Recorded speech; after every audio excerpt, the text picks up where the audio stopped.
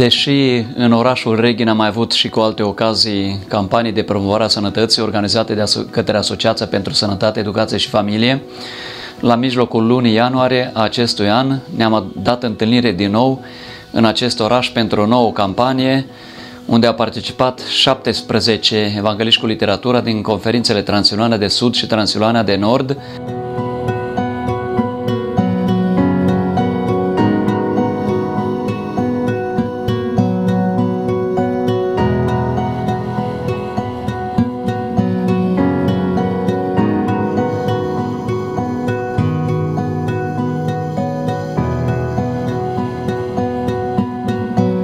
Această campanie a cuprins uh, seminare de sănătate în instituții, în fabrici, în întreprinderi și seminarii de motivare și de educație pentru elevi în cele două licee ale orașului și în principalele școli din acest oraș.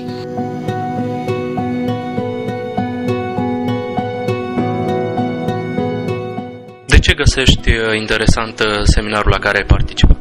Pentru că am învățat că chiar dacă ești jos, poți să ajungi foarte sus. În acest seminar am descoperit că mai multe povești de viață în care oamenii săraci au ajuns oameni mari și prin, cu ajutorul cărților, cu ajutorul cunoștințelor acumulate. Mi s-a părut foarte frumos și foarte interesant prin uh, poveștile de viață și cea a doctorului Ben Carson. M-a ajutat să înțeleg unele probleme care până acum eu nu le-am înțeles în viață. Mi se pare un pic că elevii sunt pregătiți să facă față unor provocări ale vieții și să gândească pozitiv, să aibă o atitudine pozitivă în fața diverselor probleme care le pot întâmpina. Și asta este un lucru foarte bun, că să te încurajați astfel. Personal, ce anume v-a impresionat în prezentarea? M-a impresionat că au, s-a venit cu niște exemple concrete, cazuri, să zicem așa, legende personale ale unor oameni care au reușit, deși au întâmpinat diverse probleme în decursul vieții.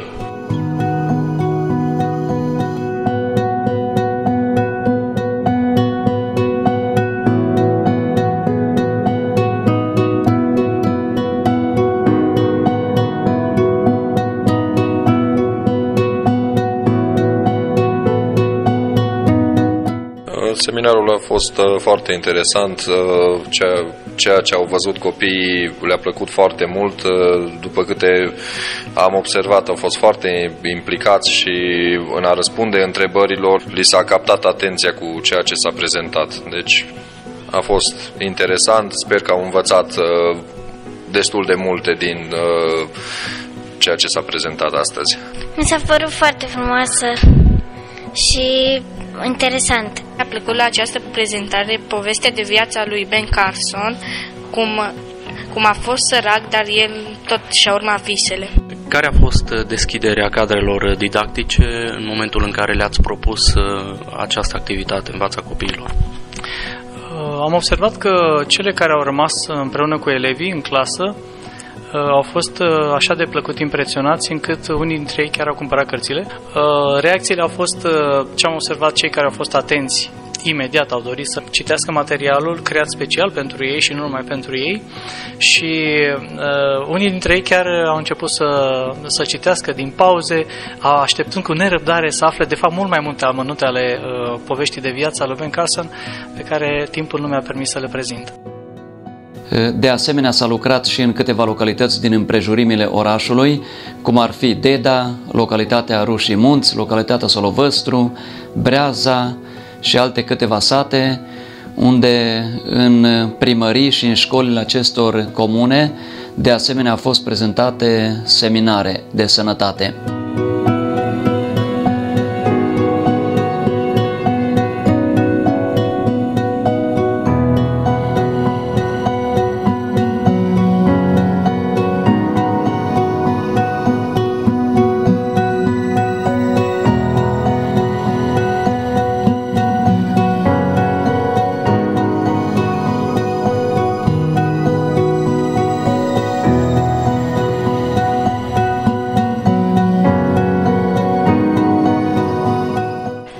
Motive m-au uh, determinat să fiu gazda dumneavoastră astăzi și să fiu onorată de prezența dumneavoastră aici și anume faptul că sănătatea este cel mai important lucru căruia trebuie să-i dăm importanță. Și în al doilea rând primăria Comunei de Dal lucrează cu echipa din această primărie, cu oamenii din comună și dacă noi vom adopta o atitudine uh, constructivă în ceea ce privește sănătatea și importanța care trebuie acordată sănătății, acest lucru poate fi transmis mai departe locuitorilor comunei noastre și cetățenilor comunei.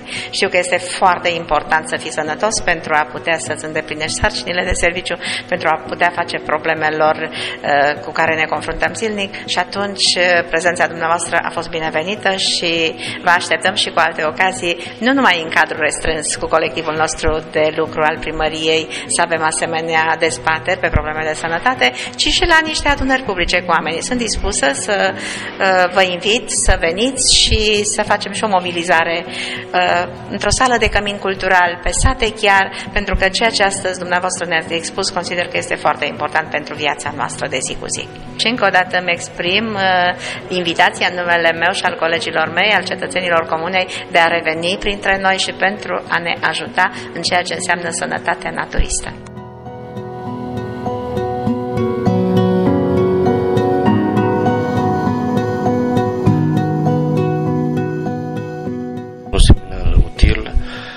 deoarece ne mai amintește încă o dată despre rolul alimentației în viața noastră de zi cu zi și este foarte important ca să avem o alimentație echilibrată. Cu ajutorul cărților sper să ducem o viață mai sănătoasă. Este un seminar foarte bun, educativ. Oricum noi lucrăm în stres și este bun să știm cum să avem o alimentație adecvată pentru a preîntâmpina instalarea depresiei și stresului.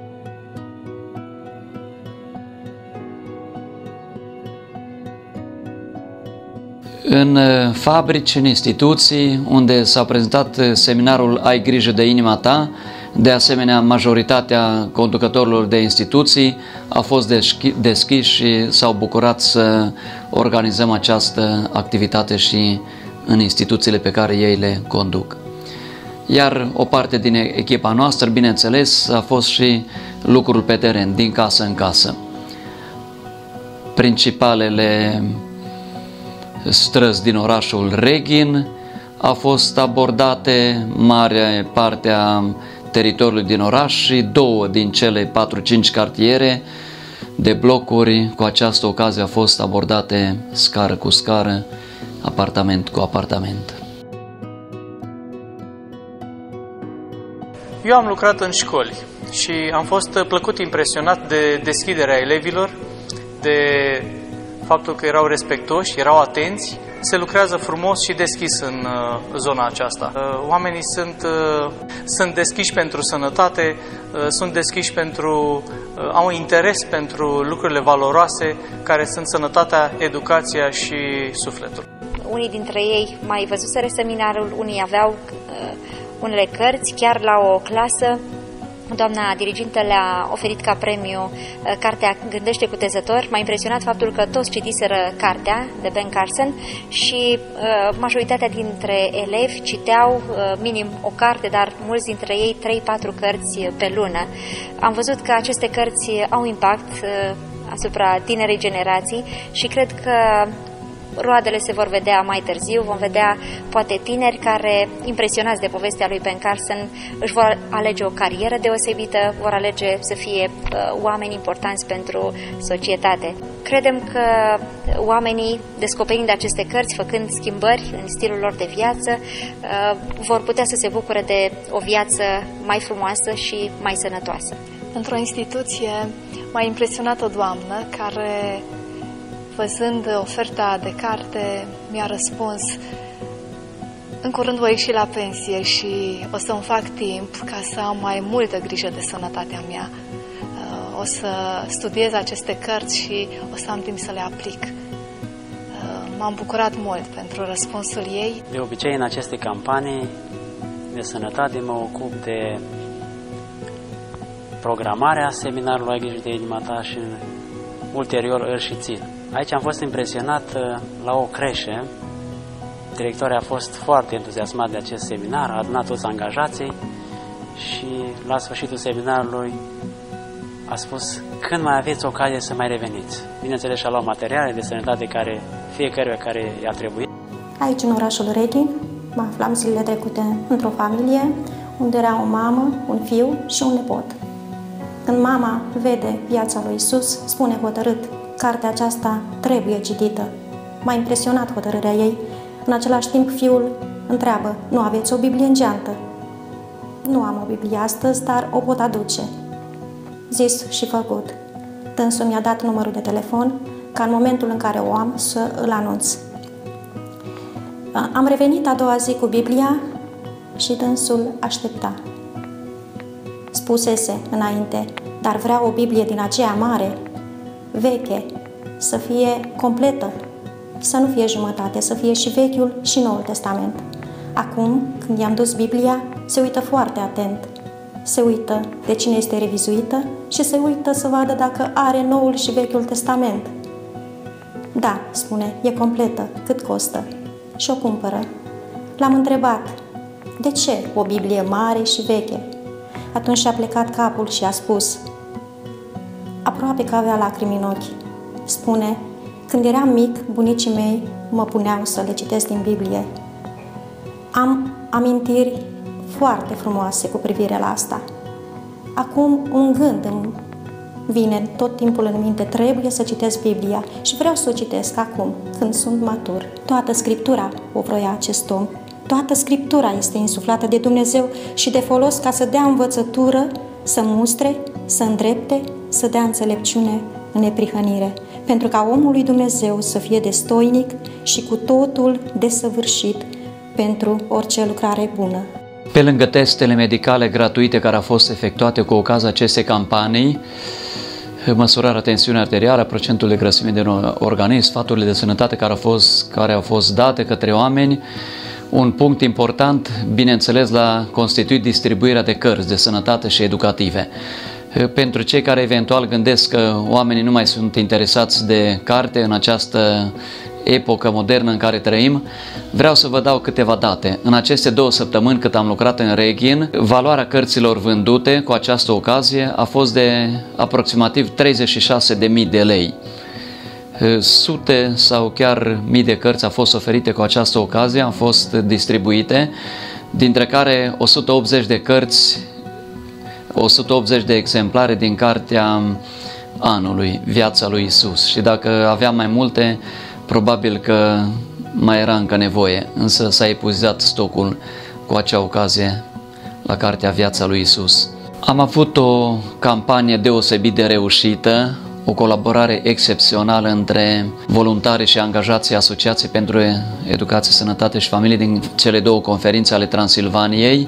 Așa cum am mai spus, cei 17 oameni care au participat în această campanie au fost foarte bucuroși și mulțumiți de reușita acestei lucrări.